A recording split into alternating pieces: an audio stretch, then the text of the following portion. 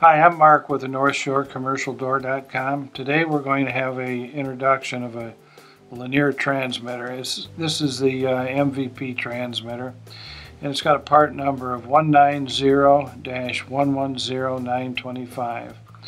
When you get it, it's going to come in a nice little white box like this. It's pretty compact. We'll open this thing up and we'll see what's in here.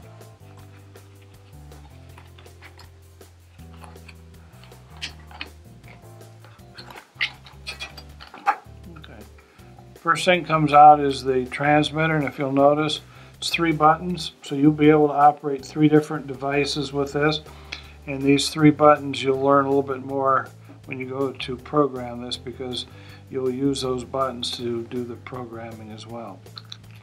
Comes with a clip that you will clip onto the back of here that will allow you to fasten this to the uh, visor in your car so it doesn't move around, it'll stay secured there.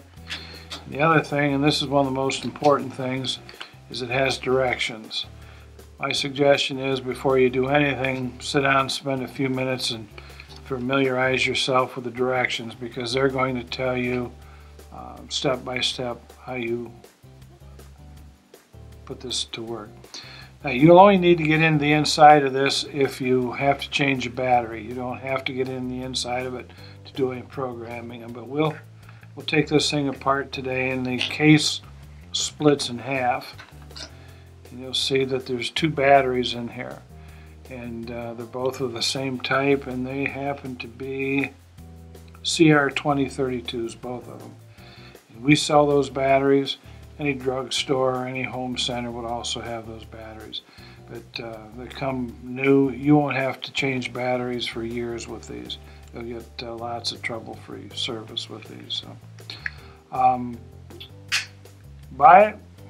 you'll like it, and uh, follow the directions. Put it to use. If you run into trouble and need some help making it work, pick up the phone, give us a call. We're uh, we're all real well trained on these and ready to help you. Thank you. Thank you for watching this video from NorthshoreCommercialDoor.com. Please subscribe to our channel so we can continue to make content like this. Thank you.